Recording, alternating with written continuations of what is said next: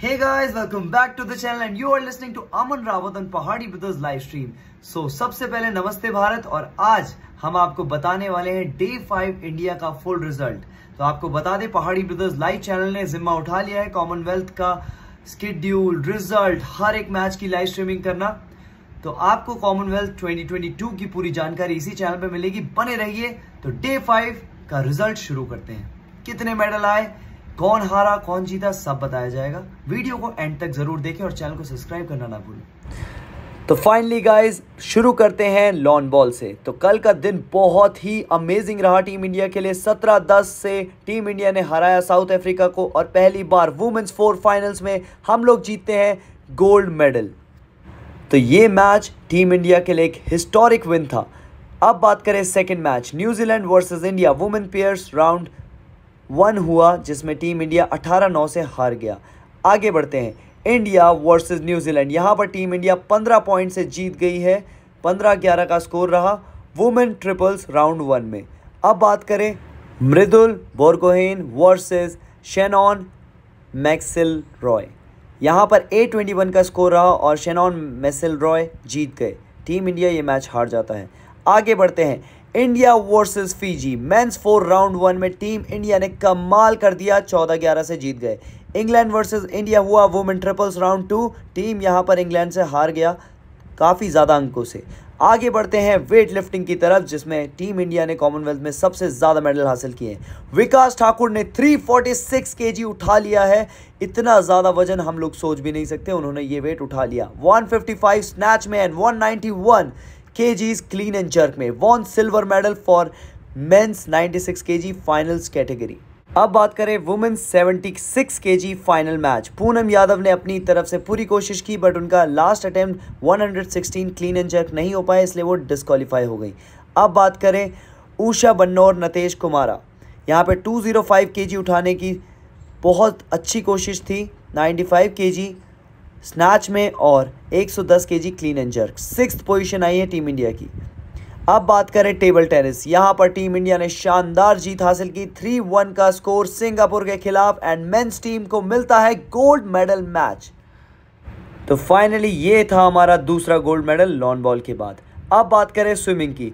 Swimming में खुशागरा रावत जी उत्तराखंड से fourth आए हैं fifteen forty seven point seven seven micro seconds ये क्वालिफाइड कर चुके हैं 1500 metre free style heat two में।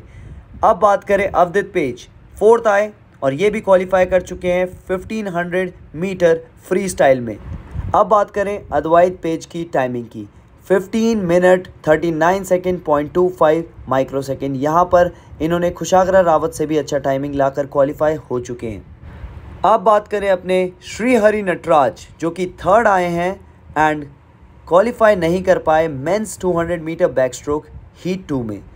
तो कोई बात नहीं, इन्होंने अपनी तरफ़ से बहुत ही अच्छा टाइमिंग निकाल के दिया है। अब बात करें एथलेटिक्स मुराली श्रीशंकर 8.05 क्वालिफाई कर चुके हैं लॉन्ग जंप के लिए।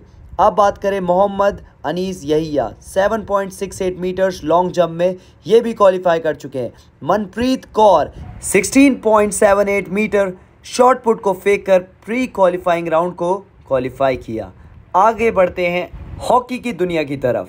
Hockey, India one and England three तो वुमेंस पूल ए का जो मैच हुआ इंग्लैंड के खिलाफ टीम इंडिया ये मैच हार जाता है। बहुत अच्छी कोशिश की पर टीम इंग्लैंड ज़्यादा टफ कंपटीशन दे रहा था और जीत इंग्लैंड की हुई। अब बात करें मोस्ट पॉपुलर स्पोर्ट्स की स्क्वाश सुनायना कुरुविला ने जीत लिया है फाइजा जाफ़र के खिलाफ। India versus Pakistan one of the famous matches women's plate semifinal. 3-0 का स्कोर रहा। बात करें सौरभ घोषाल 0-3 से पॉल कॉल न्यूजीलैंड से हार गए मैन सिंगल सेमीफाइनल स्क्वाश में। अब आपको बताते हैं इंडियन बॉक्सर्स के बारे में।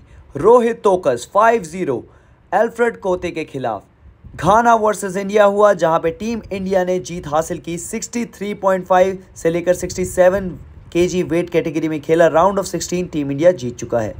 बात करते हैं one of the biggest match badminton जिससे सबको उम्मीद थी गोल्ड लाने की। वहाँ पर टीम इंडिया ने काफ़ी कोशिश की। पहला मैच हम लोग हारे, Satwik Sairaj and Chirag Shetty ji. Second match PV Sindhu जीती। थर्ड मैच किदाम्बी श्रीकांत हार गए। फोर्थ मैच था बहुत ही ज़्यादा इंपॉर्टेंट त्रिशा जॉली एंड गायत्री गोपीचंद फुलेला। उन्होंने अपना बेस्ट दिया बट टीम इंडिया जीत नहीं पाया। तो इसलिए टीम इंडिया को सिल्वर मेडल मिलता है एंड मलेशिया जीता है गोल्ड मेडल तो बात करें एथलेटिक्स का लास्ट इवेंट जो रहा, वो था वुमेंस डिस्कस थ्रो फाइनल जहाँ पर सीमा पुनिया एंड नवजीत कौर ने काफ़ी अच्छे थ्रो किए।